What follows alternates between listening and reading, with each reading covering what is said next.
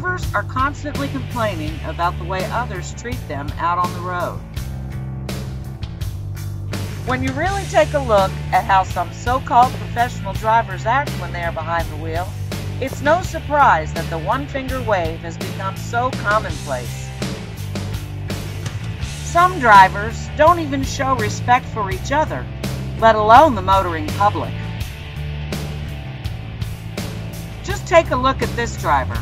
Now the driver of the car is tailgating the truck in front of him, but look at the flatbed driver. Look how close he is to the car. You can't even see the car. Ask yourself, what would happen if the truck in front lost a recap or had to make a sudden stop?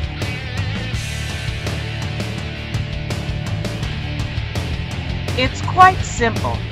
If more of us professional drivers show more respect for each other and the motoring public, we just might get some in return.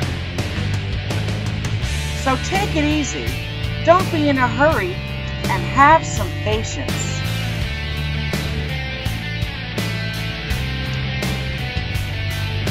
Slow down a little bit and keep a good following distance. Be courteous and be a professional.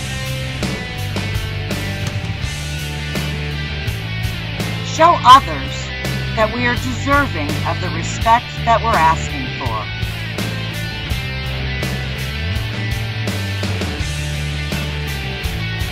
As you can see, trying to hurry doesn't always get you very far.